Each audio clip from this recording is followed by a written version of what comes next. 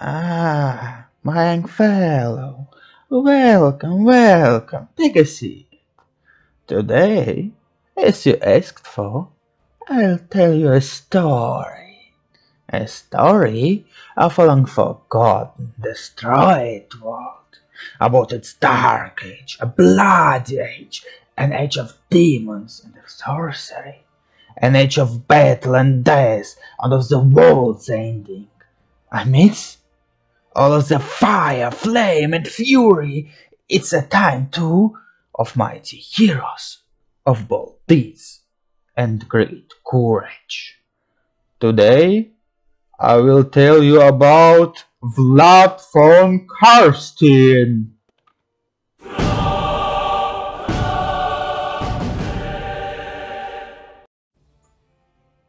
Some say he was the first vampire. Some sources told me he was the second one. But still, he was the mightiest one. He was known as first vampire count of Sylvania, as a great commander, as a mighty sorcerer, as a brave warrior, as a cruel ruler, even as a faithful lover. He was fighting all the time in his afterlife to become an emperor and herdsman of humanity. But he was slaughtered at the siege of Altdorf. The humanity sank, it is now free of the bane of vampires, but his remains made their way somehow to Sylvania and even without his magic ring that gives him a possibility to revive, it is still hard to kill such a powerful undead creature, at least to kill it forever. Two young vampires, Emanuel Posner and Melissa Rachteb, with some help from the unholy order of knights, known as Ordo Draconis found a cave where blood was regenerating. Von Carstein took them immediately under his mental control, even as bats and flying monsters called vargheists that were living in his grotto. His new followers attacked a small village called Schwarzhafen and kidnapped many, many people for the master. Vlad filled his soulless body with the blood of these humans, fully awakened after his centuries-long sleep, and he was ready to take that, what belongs to him, a crown of the empire. But he was still weakened. Melissa Rachte was sent to explore the nearest lands, and von Carstein himself gathered all his forces to attack an easy target at first, a place called Moot, guarded by Stirland's garrison, a place where small creatures, hobbits, lived. Vlad used sorcery to summon a mist and came as close as possible to the human garrison. The sky was full of flying beasts and they attacked first, with a horrifying scream. Blood Knights flanked the human forces and and Emmanuel, on his side, ran into soldiers' formation to split and drink their blood. The battle ended fast. No living escaped death. And after bats ended feasting bodies, was no more flesh on their bones and Emanuel resurrected the skeletons with dark magic to save Vlad. He hated such primitivity as necromancy. He would be much proper a ruler of vampires and living ones. But he has no choice now. Melissa Rachtep sent a telepathic message that a necromancer Zelig van Kruger is holding under his control Fort Oberstdorf and Templehof, largest city in the Sylvania. Fort Oberstdorf will be the first defense line if the Empire will try to attack Sylvania. And Templehof has a large temple of Morr, which is literally a giant graveyard, where a scholar of dark magic will be able to raise an army.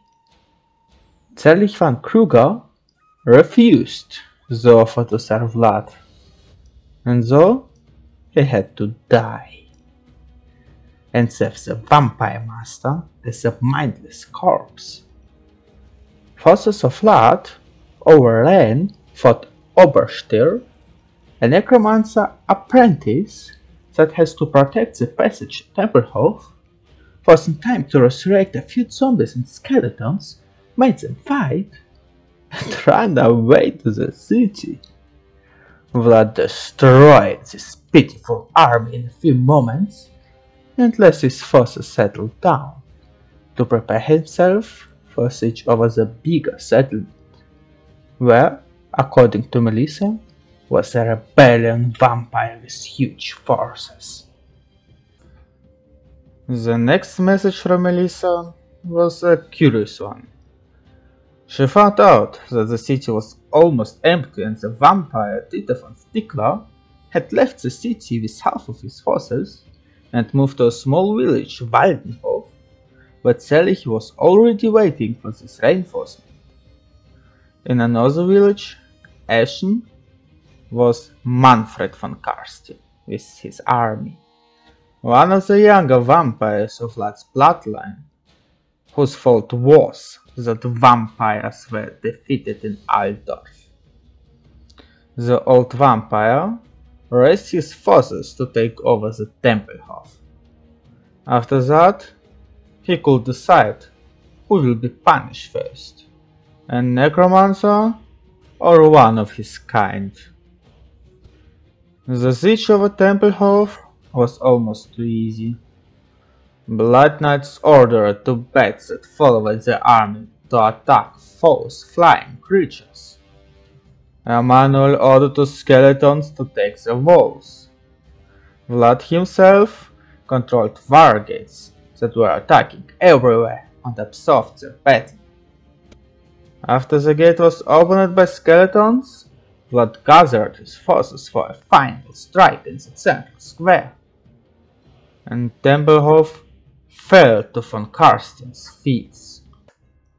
Zelig van Kruger fled to Ostermark, leaving Dieter the Stickler behind, and Vlad wasn't a naive youngling to hunt him all around East Empire lands.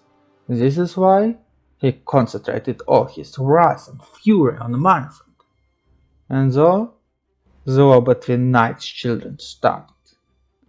Manfred had over a thousand zombies and skeletons on his side, also as a horde of bats and direwolves. He was even followed by a mighty creature, Vargulf, who used to be a vampire that lost his control to the bloodthirst.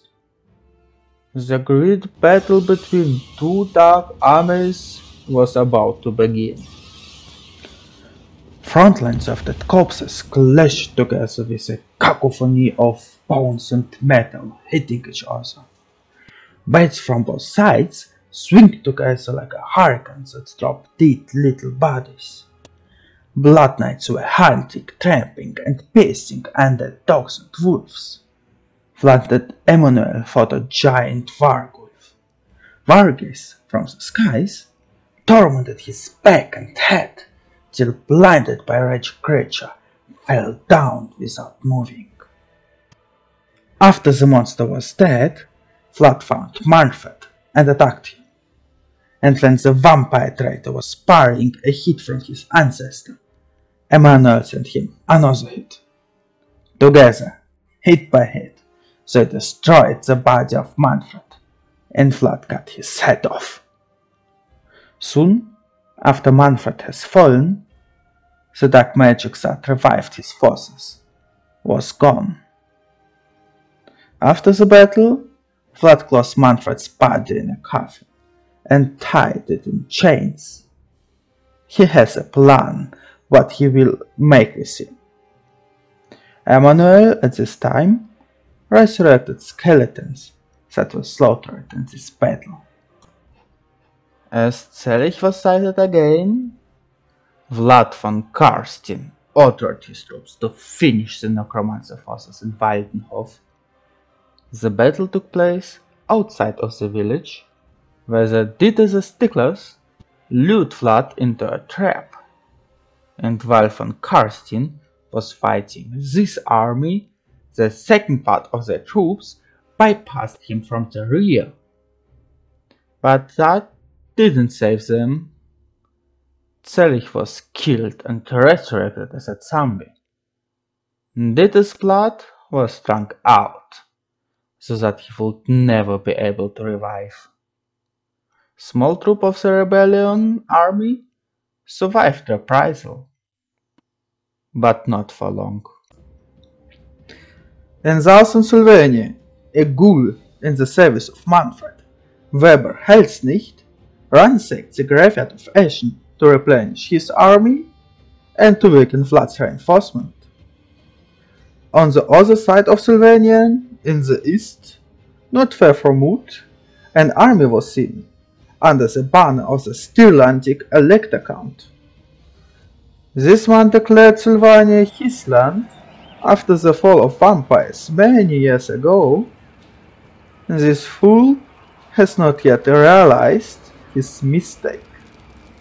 He could not even protect Moot from the bandit rabble that captured the city right under his nose. Vlad, on the other hand, almost completely controlled Sylvania. He stopped the banditism, civil unrest, the rule of insane necromancers, and brought peace in this old and tired lands. Vlad's reign was harsh and brutal, but at least the people of Sylvania had some security and fairness. The rebel vampires remained only in Castle Drakenhof, which will be Vlad's next target but not only to reclaim his throne. Melissa informed the oldest von Carstein that she had found traces of Isabella in Drakenhof Castle. No one noticed that Melissa did not serve Manfred, and she was able to make a riot in the castle and learn a few secrets. One was that Isabella von Carstein was locked in the gigantic von Carstein family crypt Vlad was furious upon hearing this. He even killed Manfred one more time by ramming his sword in the coffin where he was still chained.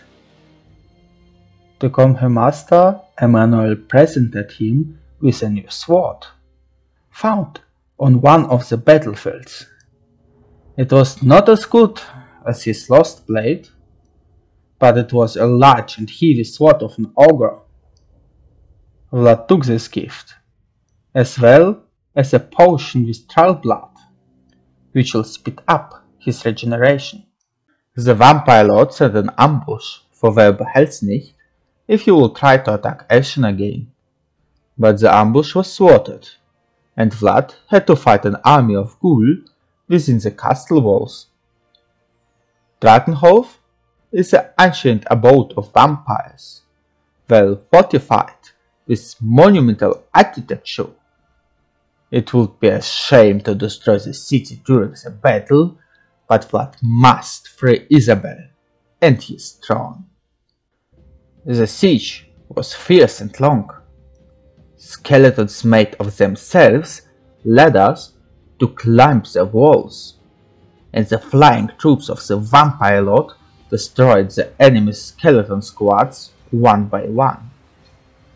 When Vlad's troops took the walls, the master and his apprentice attacked the Ghoul King, while the Blood Knights destroyed the gate and fought the zombies in the passage. The Ghoul King was quickly killed. The Blood Knights began to hunt direwolves, and the entire army moved into the inner castle. The last obstacle on the way was a few wagons and beds. Vlad kicked the door of his throne room. There were only a few nobles and their house who were hiding from the battle. Vlad laid his new sword near the throne and sat down in his place. Emmanuel was on her way to free Isabel and bring her to Vlad. And then unthinkable things happened. Vlad showed emotions. At first he smiled slightly, then looked sad to see the state of Isabella's condition, and then flew into a rage. He ordered to seal the body of Manfred in a crypt with a warpstone, so that he lived forever, forever starving, and forever mutating. At the same time, when the siege of Drakenhof was taking place, the Grand Count of Stirland, Alberich Haupt Anderssen, led his troops from Moot to Schwarzhafen. It was a short but brutal fight. The vampire lord who received these lands personally from blood was killed, like her army. But people also have some losses. The Luminark of Hysh, a powerful and dangerous magical weapon, has been destroyed by looking divers, as well as several regiments of crossbow. Though, after uniting with Isabel, must first defend his lands and prove to people that Alberich is not the ruler of Sylvania. This is a vampire title. The elected Count of Stirland stood over the table with the map of Sylvania and studied it when the scout entered the command tent and reported. The vampire forces were seen on the other side of the river. They prepared an ambush. The commander looked at the men. It just happened. The vampires are back. Send messengers to all the electors of the empire. We need help. Vlad, while hiding near the bank of the river, saw, with the help of his magical vision, the troops camped in Schwarzhafen. They were preparing for the defense, which means that his ambush was foiled. Again. He sent immediately Emmanuel to bring Isabel to him, who watched the Direwolves frolic, finding and hunting the fishermen that dwelt by the river. When his love came, Vlad gathered his army of undead and attacked Schwarzhafen. Humans outnumbered the children of night, but they had no chance against the magic and pressure of the undead. Even Haupt Anderssen's face was broken and he tried to escape the skeletons and Isabel. To no avail. The rest of the human forces were divided. Direwolves, bats and vargheists hunted crossbowmen and archers. Skeletons fought with people with swords and spears. The living are tired, but the undead do not know such a thing as fatigue. And every killed soldier was racing against his friends as an undead. The victory of the true ruler of Sylvania was predictable. No one had a chance to leave this cursed village. Direwolves and bats frolicked all night long to hunt down all the Stirland's messengers. Surprisingly, no one was able to find the body of a human lord on the battlefield. Was this a divine intervention that allowed Albrecht to survive this massacre? No answer was required at this time. Adalbert von Pupilschicht, general of Stirland, attacked Fort Oberstyre with a small army.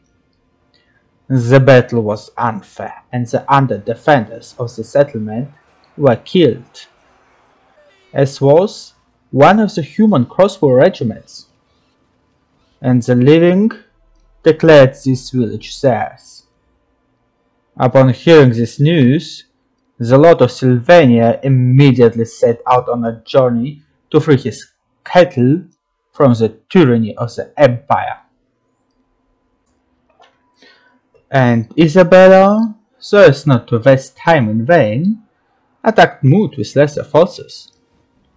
She lured enemy troops to attack reinforced with major skeletons, while bats attacked the fighting forces from behind.